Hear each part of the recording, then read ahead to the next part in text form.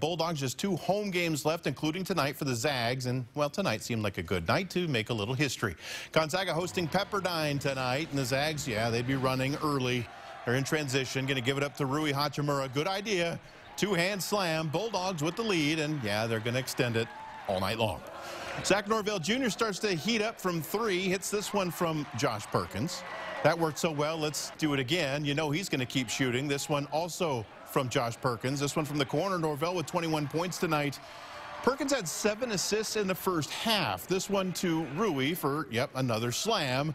Zags are up by 20 at the half. Now, we've seen the defense really step up this year. Brandon Clarke with one of his five blocks on the night.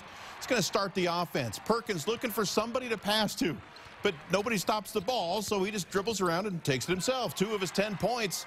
And finally, the moment of the night. Perkins going to throw the lob. Clarke with the catch and the lay-in.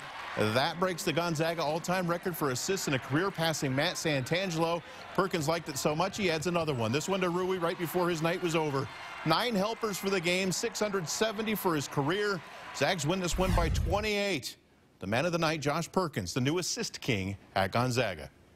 It's quite an accomplishment, and uh, obviously we're really proud of him, and, and uh, he's, he's in the midst of a, a, heck of a senior year. I wouldn't be here without my teammates, you know, and guys, you know, previous point guards, you know, Pargo, you know, Stockton, Raivio, Santangelo, even, you know what I'm saying? Uh, Kev, Pangos, you know what I mean? Guys that, you know, have helped me, and uh, so in a way, I'm, I'm playing through them. More honors coming in for Gonzaga transfer forward Brandon Clarke today, named as one of 10 semifinalists for the Naismith National Defensive Player of the Year award.